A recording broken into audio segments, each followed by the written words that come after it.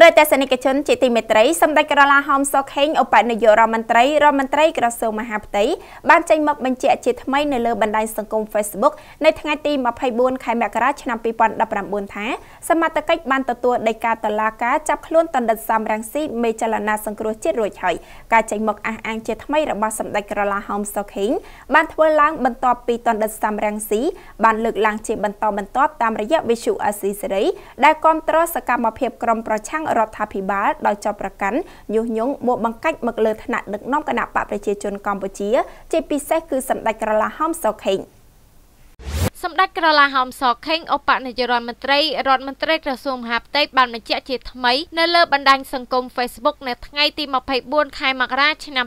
2019ថាសមត្ថកិច្ចបានទទួលដីកាតុលាការដើម្បីចាប់ខ្លួនតនដិតសំនឹងស៊ីមេចលនាសង្គ្រោះជាតិរួចហើយការអះអាងជាថ្មីរបស់សម្ដេចក្រឡាហោមសខេងបានធ្វើឡើងបន្ទាប់ពីតនដិតសំនឹងស៊ីបានលើកឡើងជាបន្តបន្ទាប់តាមរយៈវិទ្យុបរទេសអាស៊ីសេរីហៅកាត់ AFA ដែលគាំទ្រដល់សកម្មភាពក្រុមប្រឆាំងរដ្ឋាភិបាលដោយចោទប្រកាន់ញុះញង់មូលបង្កាច់ទៅលើថ្នាក់ដឹកនាំគណៈបកប្រជាជនកម្ពុជា ជាពិសេសសម្ដេចក្រឡាហោមអំពីដំណើរការដោះស្រាយបញ្ហានយោបាយកម្ពុជានាពេលកន្លងមកព្រមទាំងចោទថាសម្ដេចជាអ្នកហាមមិនឲ្យតនដិតរុកនេះឲ្យត្រឡប់មកកម្ពុជាជាដើមសម្ដេចក្រឡាហោមសខេងបានបញ្ជាក់ម្ដងទៀតយ៉ាងដូចនេះថា ការលើកឡើងរបស់លោកសំរងស៊ីដែលនិយាយថាខ្ញុំបានហាមឃាត់គាត់មិនឲ្យវិលត្រឡប់មកប្រទេសវិញនោះគឺជាពាក្យសម្ដីមូលបង្កាច់ដើម្បីបិទបាំងភាពកំសាករត់គេចចេញពីសំណាញ់ច្បាប់របស់ខ្លួនតែប៉ុណ្ណោះក្នុងនាមជាអ្នកដែលចូលរួមក្នុងឆាកនយោបាយខ្ញុំដូចជាមិនដល់ថ្នាក់ឆោតល្ងងប្រាប់សំរងស៊ីមិនឲ្យវិលចូលស្រុកនោះទេប្រការនេះខុសទាំងស្រុងពីច្បាប់រដ្ឋធម្មនុញ្ញនិងអាចផ្ដល់ឱកាសគ្រប់ពេលវេលាឲ្យសំរងស៊ីមានលេសវាយប្រហារមកលើរូបខ្ញុំវិញនៅពេលដែលសមត្ថកិច្ចបានទទួលួលដីកាដើម្បីចាប់ខ្លួនសំរងស៊ីរួចហើយសម្ដេចបានបញ្ជាក់ថាលោកសំរងស៊ីបានប្រព្រឹត្តបទល្មើសជាច្រើននិងត្រូវបានតុលាការផ្តន្ទាទោសរួចហើយហើយថាតនដឹករុកនេះសម្រេចរត់គេចខ្លួនមិនចូលប្រទេសដោយខ្លួនឯងហើយការត្រឡប់ចូលប្រទេសវិញឬយ៉ាងណានោះវាស្ថិតនៅលើបុគ្គលសំរងស៊ីខ្លួនឯងតែប៉ុណ្ណោះគ្មានអ្នកណាហាមឃាត់ឡើយ ការចេញដីកាចាប់ខ្លួនតនដិតសំរងស៊ីគឺត្រូវបានប្រកាសជាសាធារណៈហើយការបញ្ជារបស់សម្ដេចចំពោះសារព័ត៌មាន និងសាធារណមតិជាតិនិងអន្តរជាតិអំពីដីកាចាប់ខ្លួននេះគឺធ្វើឡើងជាសាធារណៈដែលមិនមានអ្វីជាអាចកំបាំងឡើយសម្ដេចបានបញ្យល់ទៀតថាការដែលសំរងស៊ីនិយាយថាខ្ញុំមានការលំបាកធ្វើការជាមួយនឹងសម្ដេចអគ្គមហាសេនាបតីតេជោហ៊ុនសែននោះគឺជារឿងភូតកុហកបោកប្រាស់សុទ្ធសាធប្រការនេះសំរងស៊ីចង់ឲ្យសាធារណមតិមានការភ័ន់ច្រឡំមកលើរូបខ្ញុំនិងជាល្បិចកលនយោបាយរបស់លោកសំរងស៊ីខ្លួនឯងតែប៉ុណ្ណោះធៀបពិតគឺសំរងស៊ីទេដែលខ្ញុំពិបាកធ្វើការជាមួយជាក់ស្ដែងនៅល្ងាចថ្ងៃទី16ខែកញ្ញាឆ្នាំ2013ខ្ញុំដែលជាតំណាងឲ្យគណៈបកប្រជាជនកម្ពុជារីឯលោកសំរងស៊ីតំណាងឲ្យគណៈបកសង្គ្រោះជាតិខ្ញុំនិងសំរងស៊ីបានជជែកគ្នាតាមទូរស័ព្ទអំពីសេចក្តីព្រៀងកិច្ចព្រមព្រៀងមួយរវាងគណៈបកទាំងពីរខ្ញុំបានសុំយោបល់ថ្នាក់ដឹកនាំគណៈបកប្រជាជនកម្ពុជាពិសេសសម្ដេចអគ្គមហាសេនាបតីតេជោហ៊ុនសែនខ្ញុំនិងសំរងស៊ីបានឯកភាពទាំងស្រុងហើយសង្ឃឹមថានៅព្រឹកថ្ងៃទី17ខែកញ្ញាឆ្នាំ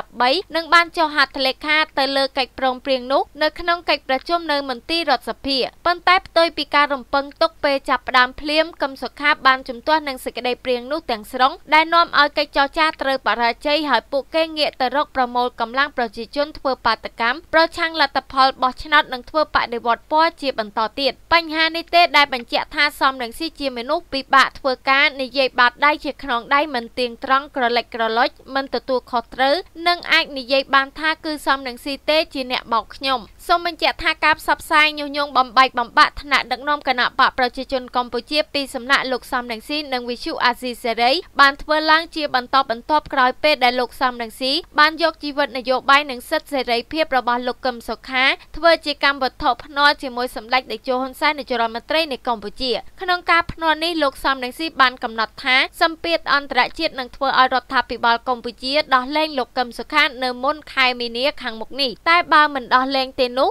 លោកសុកចិត្តចូលប្រទេសកម្ពុជាដើម្បីអនុវត្តទោសអ្នកវិភាគជាច្រើនបានលើកឡើងថាលោកសំរងស៊ីនឹងចាញ់នៅក្នុងការភ្នាល់ជាមួយសម្ដេចតេជោហ៊ុនសែនហើយទណ្ឌិតរុកនេះនឹងមិនចូលខ្លួនឲ្យចាប់យកទៅអនុវត្តទោសដោយអ្វីដែលលោកបានអះអាងនិងប្រកាសនោះឡើយដោយសារតែតាមបទពិសោធន៍កន្លងមកតនដិតនេះមិនហ៊ានជាប់ពន្ធនាគារដោយលោកកឹមសុខានោះឡើយម្ដងជាពីរដងលោកសំរងស៊ីតែងតែកិច្ចវេះនៅអ្វីដែលលោកសន្យាថាត្រឡប់មកអនុវត្តទោសនៅកម្ពុជាតាមរយៈការចោទប្រកាន់ថារដ្ឋាភិបាលបានហាមយន្តហោះមិនអោយដឹករូបលោកមកកម្ពុជាឬហាមមិនអោយលោកចូលកម្ពុជាជាដើម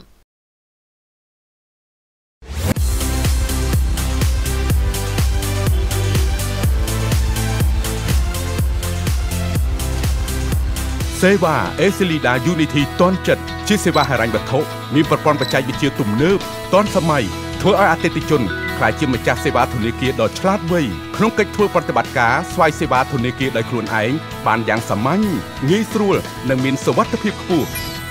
ប្រើប្រាស់សេវា Ecelida Unity ទាន់ចិត្តលោកអ្នកចំណេញពេលវេលា កាត់បន្ថយចំណាយពេលធ្វើប្រតិបត្តិការទូទាត់ថ្លៃទំនិញសេវាកម្មផ្សេងផ្សេងតាមរយៈទូរស័ព្ទចល័តតខ្លួនរបស់លោកអ្នក scan ជាមួយ QR code ដែលមានដាក់តាំងនៅទីផ្សារនិងហាងទំនិញនានាជាច្រើនកន្លែងយ៉ាងរហ័សទាន់ចិត្តបានគ្រប់ពេលវេលាដោយមិនចាំបាច់ចំណាយពេលរងចាំរាប់ប្រាក់អាប់ប្រាក់ព្រួយបារម្ភពីការបាត់បង់ប្រាក់ឬប្រឈមមុខនឹងក្រដាស់ប្រាក់คล้ายៗ